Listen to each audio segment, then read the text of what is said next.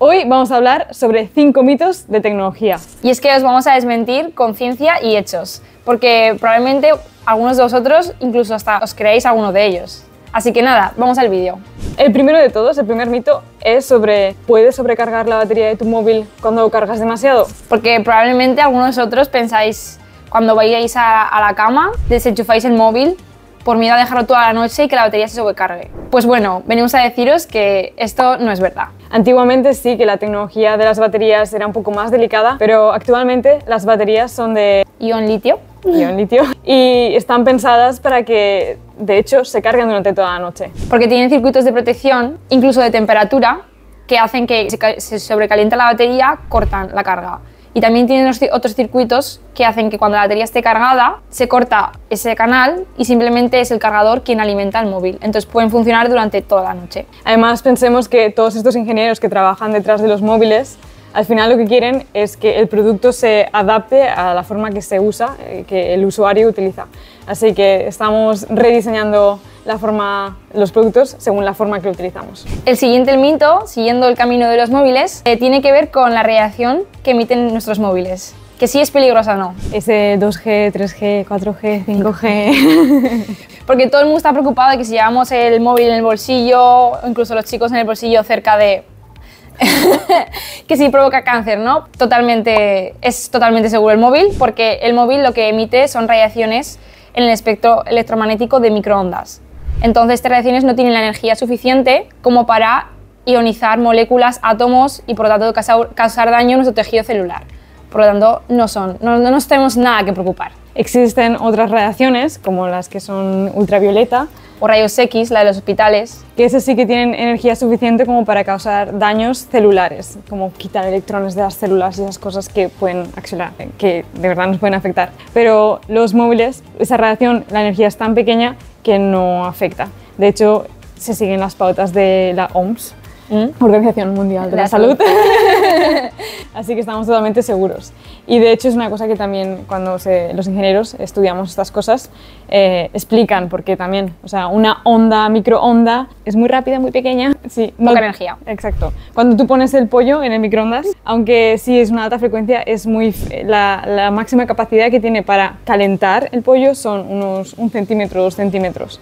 Y cuanto más vas en alto en frecuencia, menos capacidad de penetrar superficies tiene esa onda. Así que si en el caso que alguna onda de esas pudiese llegar a nosotros, se quedaría en la superficie de nuestra piel y no notaríamos nada. Exacto. Y esto también se ve muy fácil, lo de las ondas. Por ejemplo, las ondas que son más graves, esto es porque ya me gusta a mí, las ondas que son más graves eh, son más largas, eh, literalmente. Por ejemplo, cuando tienes un altavoz, un subwoofer, que Mm, tiene unos... el bajo. Eso, unos boom, boom, boom, que tiembla hasta el edificio, es porque esas ondas son más eh, lentas y tienen capacidad de penetrar eh, muros. Pero las ondas chiquititas de radiofrecuencia, muy baja en potencia y muy poca energía y no pueden penetrar ningún tipo de muro de piel. Si no estaríamos todo, todo vibraría por todas las Bluetooth, Wi-Fi, 5G. El siguiente mito, seguramente has pasado por esta pregunta varias veces cada vez que quieres cambiar de teléfono móvil y quieres ver si la cámara es mejor o peor o si te gusta la fotografía. Y este mito es Si la cámara, cuanto más megapíxeles, mejor cámara es. Mejores fotos vas a tener. Y esto es totalmente mentira. Y es con lo que juegan los fabricantes de móviles, de hecho. Solo se fijan en los megapíxeles, pero la cámara es el conjunto de sensor, lente, apertura, procesamiento de imagen. Entonces, pues que sepáis que es todo el conjunto. Es cuando, cuando tú miras la calidad de una cámara, tienes que mirar todo eso.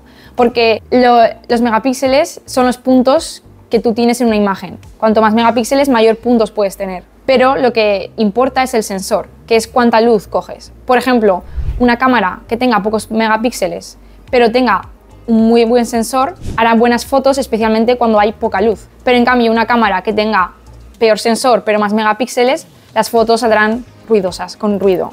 Y verás como no tan nítidas. Al final, los megapíxeles es cuánta información tú puedes coger una imagen y hacer zoom in y lo verás, pero no significa que ese zoom in que hayas hecho sea más nítido o no.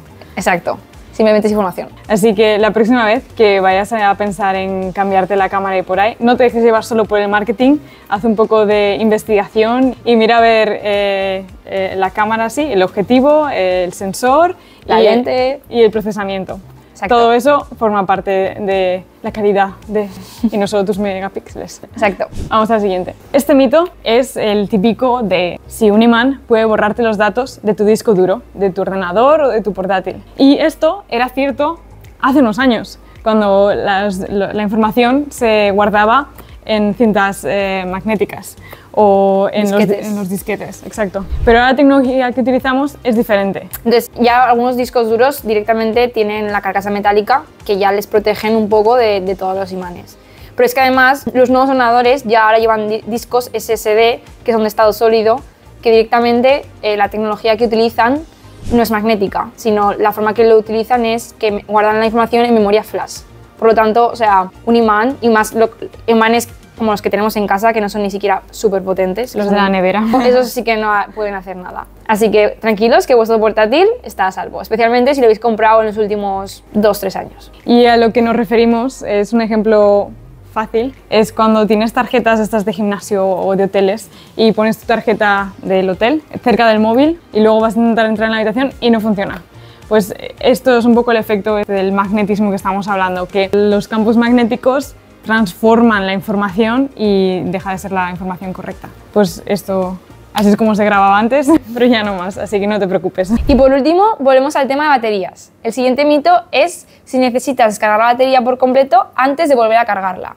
Y es que este mito viene de una tecnología de baterías primera, anteriormente a la que conocemos ahora, que es las baterías de níquel, níquel cadmio o níquel hidrometálico. Y es que estas baterías sí que tenías que descargarlas antes de volver a cargarlas, porque tenían lo que se conoce el efecto memoria-batería. Pero ahora, sobre todo en los dispositivos móviles y dispositivos modernos, utilizamos baterías de ion litio. Y es que estas no tienen ese efecto memoria. De hecho, es mucho mejor cargarlas en, en varias veces y, de, y siempre mantenerlas entre un 20 y 80% de estado de carga. De hecho, ahora los nuevos móviles cuando te los dan, los tienen a un 60%.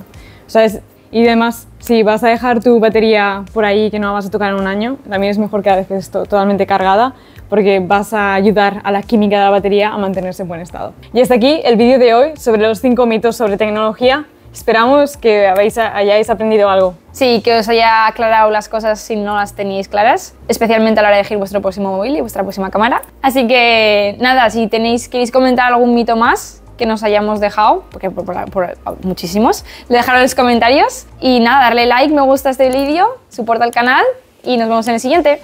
Chao, chao. Chao, chao. Y que nos la cuelen con algún otro mito.